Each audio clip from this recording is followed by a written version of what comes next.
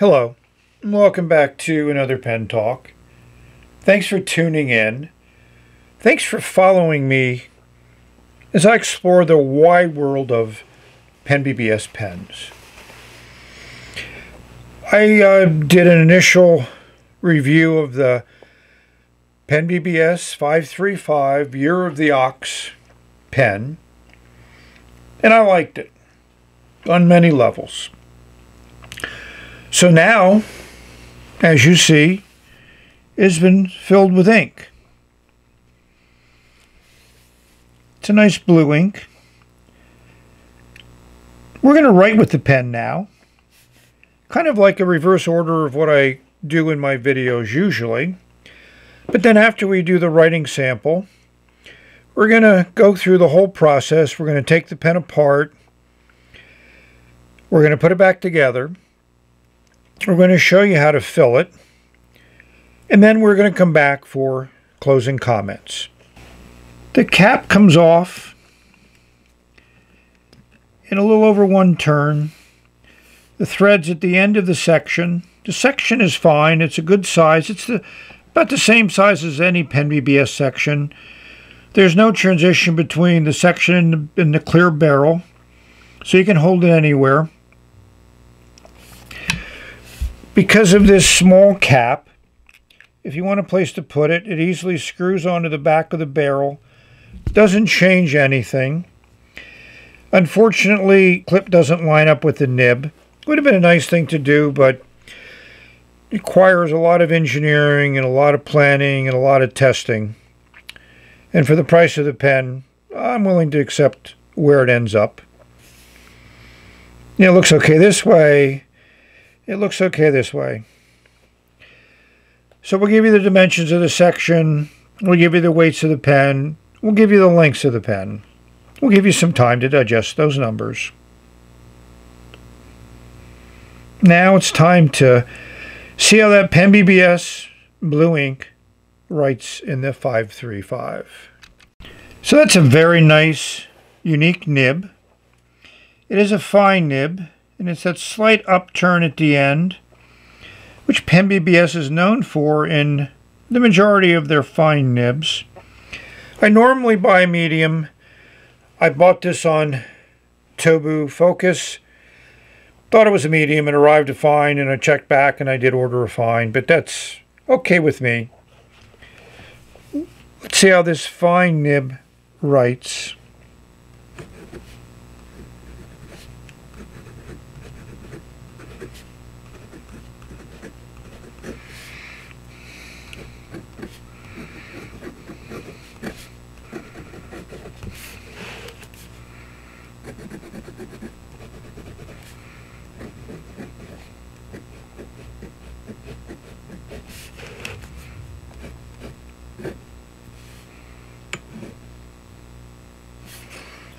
So you got to see what happens when you don't open up the blind cap. So that's how much writing I was able to do. Now the blind cap is open. Ink is flowing to the feed. So we'll do the crosshatch again. And we'll do a smear. So overall, this is about the best steel nib I've used from Pen BBS in the Fine series. It's very smooth. No feedback. It just glides. Lays down a generous amount of ink. It feels really good. So now we're going to show you the bits and pieces, the insides and outsides, the engineering, how the filling mechanism works, and we'll come back for a final statement. You may ask, how does the 535 come apart? And I'm showing you what I'm going to take apart. Taking apart the draw a filler, you just have to get a wrench in there on the flat spot on the threads, unscrew it, and everything comes apart. I've already taken uh, the 355 apart, so I'll give a reference to that video. The nib assembly just unscrews from the section, but the section is one, it's glued in place. It's certainly not coming out. I'm certain they did that because of the threads there. They didn't want people unscrewing it by mistake. The top of the cap has this plastic plug, which has a Phillips head screw in it, which connects to this little medallion that sits in the top of the cap there. And then that holds in this clip as it goes into a little slot. You know, this is a classic design method that a number of uh, pens used to secure it. You know, the other classic design is where you have the dual fold one where there's a big plug here that screws in and out. I'm saying it's about 50-50 into which design is being used. You know, that's the number. That's the ox. And there's Pen BBS and another one. So I haven't come up with an ink yet, but we'll do shortly. Well, I certainly misspoke when I said this was the same size on the 535 as the 355. It is certainly not. It's much smaller. And a quarter inch wrench will fit, or a small adjustable wrench will work to unscrew that metal piece like you could do on the 355. So it works the same way that way. Well, I decided to use my adjustable wrench to unscrew this piece from the barrel.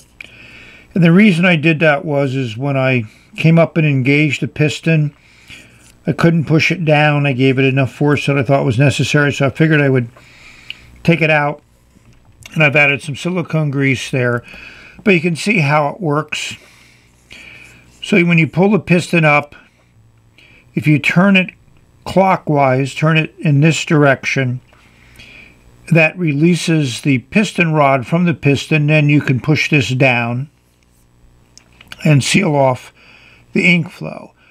When you want to fill the pen with ink, you pull this up, you turn it in the counterclockwise direction, that engages the piston, and as you can see from these little fingers, they move into that groove, so when you're when you're unloosing in it, you push in this direction, and those hold the piston up there. When you come back again, you turn in the opposite direction, which move those little fingers to the opening, and then you can use the piston to fill the pen. It's a very, very nice, clever design. I really appreciate it. And this ring just comes off. So you got to be careful you don't lose that when you take off the piston. So now when I put in the piston, it is a tight fit. But it moves up and down easily now. So when we go in there, you can originally start the threads by hand. And then at the very end, I'm just going to use the wrench to give it just a slight little bit of torque to hold it in place. So once we give it a little bit of torque, and I don't like adjustable wrenches because you got to keep turning them, but just about an eighth of a turn locks it in place so now it moves fine. When you bring it up and engage the piston, it moves. When you bring it up and release the piston, now only the stopper moves with that piston rod. Very nice design. I like it. So the other change that they did when they changed this piston rod assembly to this bayonet version, they used a, a metal pin to attach this blind cap to the top of the piston rod. Uh, I talked about what they did before, but this is a much more secure situation. Whenever you turn this knob, it's going to turn the piston rod, so therefore it's always going to be consistent in how it works.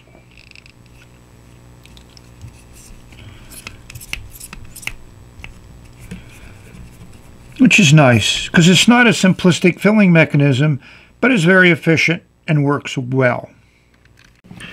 This is the ink I decided to use. It's an ink I haven't used much. When I first used it, I really enjoyed it and then moved on to a lot more other inks. It's number 5112. I don't know the name. It is just a very, very nice blue ink. There might be a little bit of sheen. I don't know whether I can catch it with this light I have.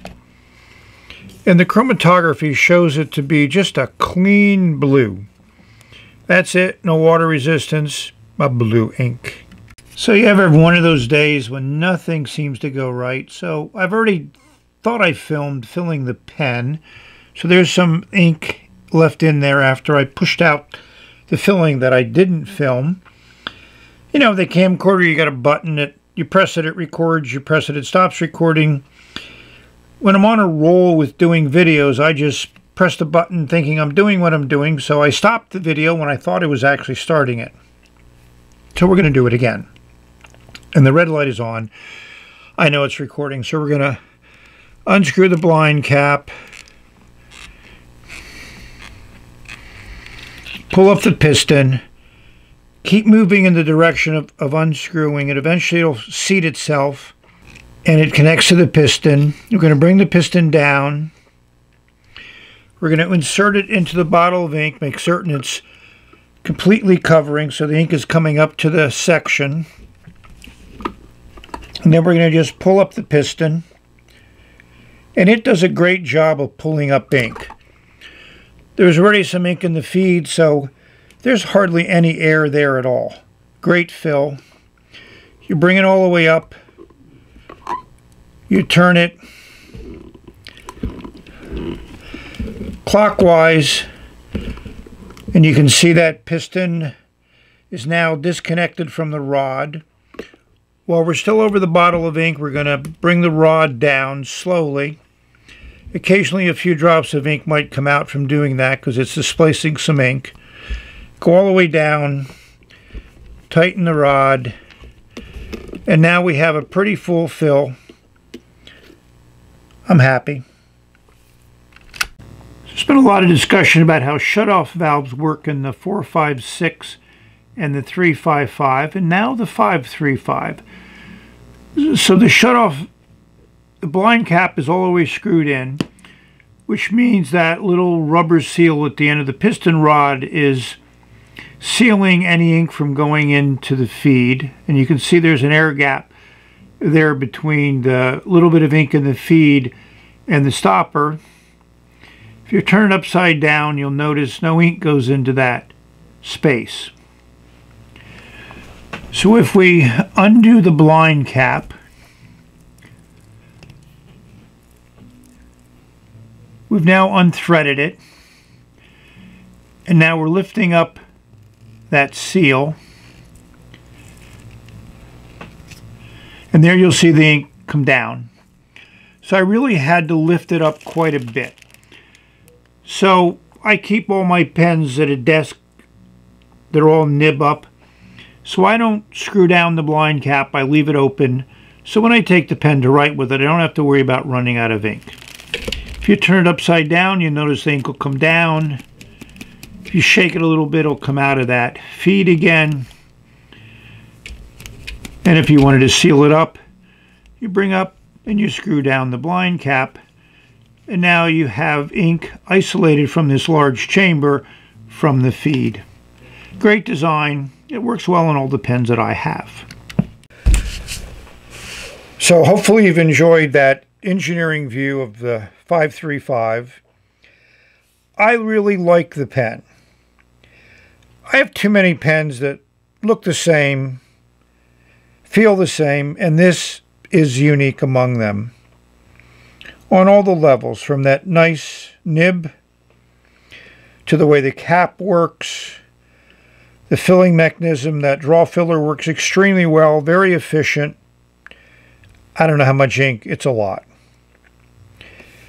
The only thing I would say, artistic viewpoint, is that ring, I think, could have been a plain ring.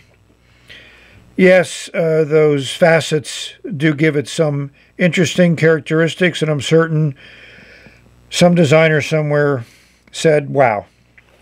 Speaking of designers, Pen BBS is a bunch of pen nerds. They've been around for a while. maybe 30 years. And I love the fact that they're making such great pens and they continue to outdo themselves. So let's rate this pen.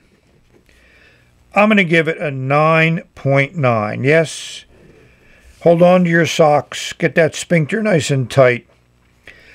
I'm going to give it two checks because it is a unique design, combining a draw filler with the way that cap is designed.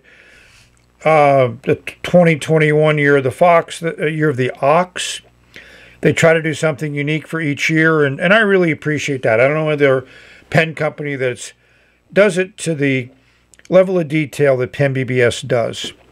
The nib also gets two checks because it's a great nib.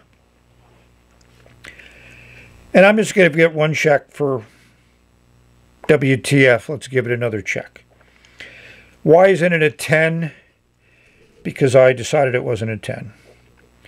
I had to put some room for Pen BBS year of the pen 2022. Hopefully we're all around for that. I really enjoy putting down ink with this pen. I love the way it feels in my hand. I love that little flare out at the end of the section. I love the fact that there's no step, no threads, no nothing, just a smooth transition.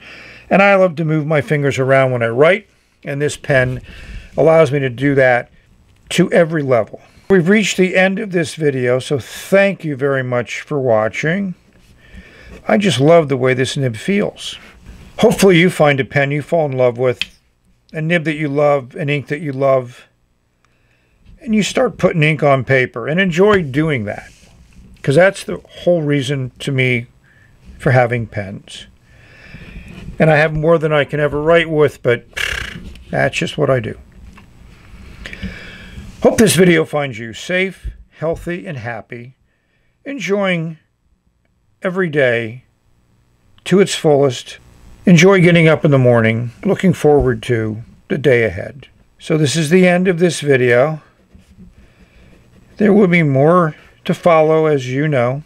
I got a lot of material to cover. So we'll say bye for now. She's just a great writer.